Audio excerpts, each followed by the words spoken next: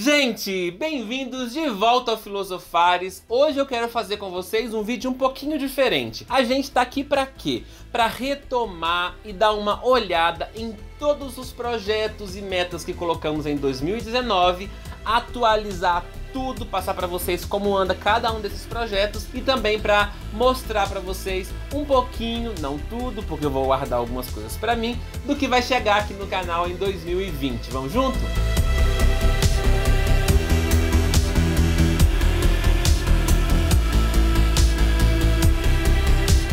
Nem ia fazer muito esse vídeo, mas eu fiquei pensando em você que tá aqui comigo desde o começo do canal, que me acompanha também no Instagram, que me acompanha um pouquinho mais de perto desde a época do Luft Balloon. E aí eu fiquei pensando, não, você me manda mensagem pela, pelo direct, você me pergunta, você me sugere temas e vídeos aqui pelos comentários. E não só vocês, mas aquele também que não comenta, mas que gosta daquilo que eu produzo por aqui, fica preocupado com a sequência de alguns projetos e eu gosto então de deixá-los um pouco mais tranquilos e deixá-los um pouco mais atualizados. Então a gente vai falar um pouquinho sobre isso e com esse vídeo nós vamos passar uma régua em 2019, finalmente, mesmo que já estamos aqui alguns dias avançados de 2020 e vamos olhar para frente para tudo aquilo que Filosofares tem para mim e para você esse ano. Ficou curioso? Gosta do nosso trabalho? Quer apoiar? Então não tem jeito melhor do que você curtir esse vídeo, inscrever-se no canal se você chegou por aqui e não é inscrito,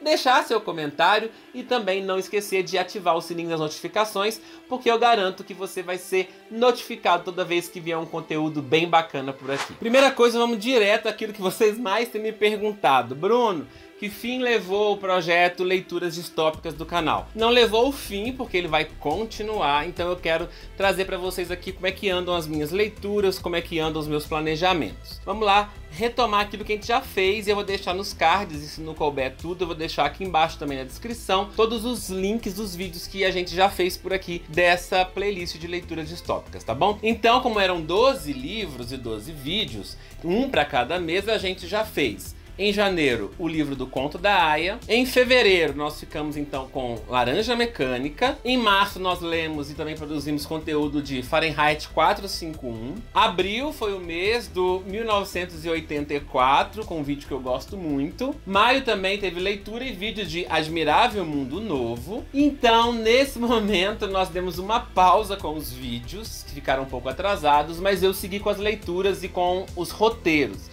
Alguns já estão prontos e eles serão produzidos para esse ano. Então, os livros que eu já li desse projeto. Nós temos a Nós, os Amiatin, que vai ser o próximo aqui do canal. Em julho, eu li a Parábola do Semeador da Octavia Butler. Esse também aqui vai ter vídeo em breve. Nesse momento nós já estávamos lendo umas distopias um pouco mais atuais. E aí eu cheguei na, nos contemporâneos em agosto com Ninguém Nasce Herói. Li também contemporâneo, jovem adulto, Imperfeitos. E finalmente, em outubro, eu parei o projeto no meio. Na verdade, eu já estava atrasado um pouquinho com as leituras e eu fui começar a ler esse próximo, que é a leitura de outubro, já no final de novembro.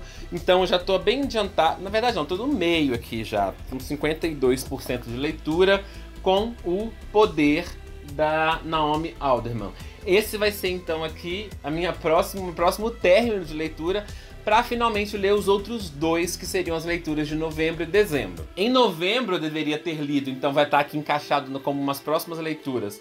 Legend e por último, em dezembro eu tinha deixado, nós tínhamos do grupo tínhamos deixado então o maior, o calhamaço, mas eu não sei se eu vou conseguir ler ele todo, que é a Revolta de Atlas. De toda forma, como a minha edição ela é separadinha em três volumes, eu vou ler com certeza o volume 1. Então vocês perceberam aí que a partir do livro Nós, do Zamiatin, não tem vídeo no canal, mas eu vou continuar aqui à medida que for fazendo os roteiros e gravando, alimentando a playlist de leituras distópicas. Não desistam, porque apesar de tudo isso, das leituras terem se embananado um pouquinho no meio do caminho, eu não desisti do projeto e também não vou parar de fazer os vídeos aqui, mesmo porque a distopia é uma, um tipo de leitura, um gênero que eu vou continuar lendo e trazendo para vocês. Tanto é que, no meio do caminho, apesar de eu não ter lido é, os 12, né, eu li, sei lá, no, 10, né, 9,5, eu li mais uma distopia que eu conheci no meio do caminho, que é O Silêncio dos Livros, e eu acredito que também eu vou produzir vídeos sobre ele. Me digam aqui embaixo se vocês querem que eu fure alguma fila, porque ele já está lido, né? E se vocês se interessam em saber um pouquinho mais sobre as uh, inspirações filosóficas desse livro. Bom, sobre a outra playlist que vocês me perguntam muito e é a mais queridinha aqui do canal e eu gosto muito dela também, dá um pouquinho mais de trabalho para fazer porque eu gosto de trazer para vocês um conteúdo um pouco mais organizado, didático, bem explicado, que é o Estudos Fundamentais de Filosofia. E eu vou continuar com ele, inclusive em breve, já estou prometendo isso já há algum tempo, mas sério mesmo, a gente está trazendo para vocês aqui em breve mais conteúdo e eu vou alimentar sempre essa playlist. Essa playlist vai ficar fixa no canal. Outra playlist fixa no canal, que também é bastante interessante, que são aqueles vídeos curtinhos para temas específicos de filósofos. Vamos continuar também com o brevemente, tá bem? Quem não assistiu ainda todos os vídeos, tá aqui embaixo também todos os links organizados para vocês assistirem, para ver se vocês perderam alguma coisa. E também temos a playlist do vocabulário. Essa do vocabulário, eu comecei com um vocabulário filosófico, com termos filosóficos mais amplos, gerais, e a gente passou agora para o vocabulário nietzschiano. Vamos continuar o vocabulário nietzschiano. Eu sei que eu parei na letra F, o próximo vídeo já é sobre fisiologia e vai sair também ainda esse mês, tá? Então fiquem de olho. Então não esqueça de assinar aqui, de assinar não, de é, clicar aqui na sinetinha aqui embaixo para você receber as notificações quando eu lançar esse vídeo aqui. Porque eu vou continuar com a playlist do vocabulário nietzschiano e vamos chegar, sim, já tenho todos planejados até a última letra do vocabulário, tá bem? Quem não assistiu ainda algum, já temos então aí Amor nós já temos então é, budismo, cristianismo, é, dionisíaco. E aí nós paramos a. Não, é. Eterno Retorno. E agora sim, o Fisiologia pra gente seguir com a playlist. Alguns outros vídeos vão aparecer esporadicamente no canal, que são aquelas duas outras playlists que eu também alimento, duas, três, né, playlist que eu alimento por aqui, que são de algumas leituras, de parcerias de, ou de livros que vão aparecendo filosóficos por aqui, indicações de livros também, e outra playlist que é a do Filosopop, que eu costumo fazer aí umas pontes entre é, produtos da indústria cultural e a filosofia. Também vão voltar a aparecer em algum momento. Não desiste dessas playlists não, mas elas vão continuar aqui em segundo plano por enquanto. E agora então vamos falar de 2020. O que, que vai ter então aqui no canal que vai ser novidade? Bom, eu vou aos poucos trazendo para complementar e também às vezes até substituir daqui a alguns meses a playlist de leitores distópicos, uma outra playlist que eu vou estar fazendo uma ponte entre literatura e filosofia. Gosto muito de fazer isso e eu tenho tido um resultado bem interessante aqui no canal. E dessa vez então eu tenho um projeto de 12 livros já não são mais distopias, são outros tipos que eu vou explicar para vocês. Eu vou trazer para vocês então vídeos sobre leituras que eu vou fazer de dois autores que eu adoro, mas que há algum tempo eu já tinha abandonado. E por que eu escolhi esses autores? Presta atenção, você está no canal de filosofia e é porque eles têm uma inspiração, um pano de fundo e uma alma nessas obras que eles escrevem bem filosófica. Ou seja, eu vou extrair eu vou conversar com vocês sobre a filosofia desses livros, sobre conceitos filosóficos que inclusive eles usam nesses livros. Quem são esses autores, Bruno? Então, o primeiro deles eu, é o Milan Kundera. Tô aqui com um box que eu comprei já há alguns anos, estava abandonado na minha estante. Inclusive foi por causa disso que eu me inspirei para voltar a ler o Kundera, que eu preciso acabar de ler essas obras. Inclusive é dele, eu já falei aqui no canal alguma vez, que é dele o meu livro preferido da vida, eu vou reler, chamado A Insustentável Leveza do Ser. E o outro autor que a gente vai ler aqui juntos também é o Ítalo Calvino.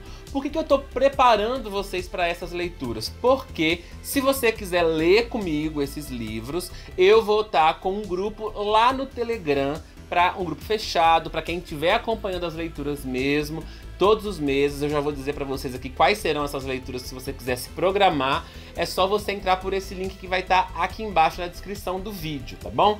Então vamos ver quais são essas leituras e por quais meses elas serão organizadas. Eu acabei intercalando, então um mês a gente vai ler o Kundera e no outro o Calvino. Na verdade, vamos começar pelo contrário, mas você vai entender agora. Algumas obras que eu não mostrar aqui significa que eu não comprei ainda, ou porque ou eu vou ler no Kindle ou eu vou comprar mesmo, mas de qualquer maneira vai aparecer a capinha aqui outro lado. A primeira delas a gente vai ler então em janeiro, o Cavaleiro Inexistente. Fevereiro ficamos com a Lentidão do Pundera. Março volta o Calvino com o Barão nas Árvores. Abril leremos Risíveis Amores. Maio nós vamos ler Visconde Partido ao Meio. Junho a gente vai ler então, ou eu vou reler nesse caso, a Insustentável Leveza do Ser. Julho vamos ficar com Fábulas Italianas. Agosto será a vez de A Identidade. Setembro, o livro Os Amores Difíceis. Outubro, A Festa da Insignificância. Novembro, As Cidades Invisíveis. E dezembro, finalmente, a brincadeira. Eu tenho também aqui o livro do Riso do Esquecimento,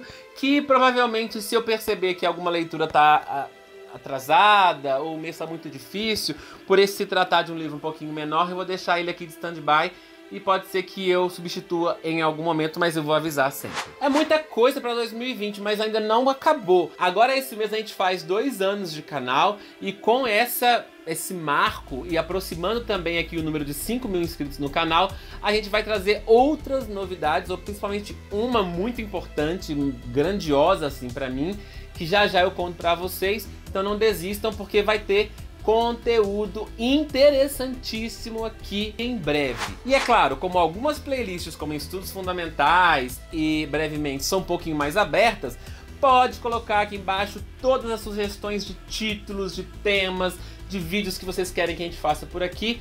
Assim a gente fica junto, a gente aprende junto, a gente filosofa junto, a gente pensa junto. Espero que você tenha gostado, que você tenha me acompanhado até aqui. Manda esse vídeo aqui para um amigo que é entusiasta da filosofia e também da literatura, para trazer ele aqui para o canal, para que a gente chegue rapidinho aos 5 mil inscritos e a gente possa crescer juntos. Mas antes de você ir embora, eu sugiro que você olhe aqui do ladinho, eu vou deixar para vocês dois vídeos que eu gosto muito, que são muito interessantes e que vão te ajudar aí nessa, nesse começo de ano, nessa nova empreitada de projetos, projetos, planos e metas. A gente se vê numa próxima. Tchau!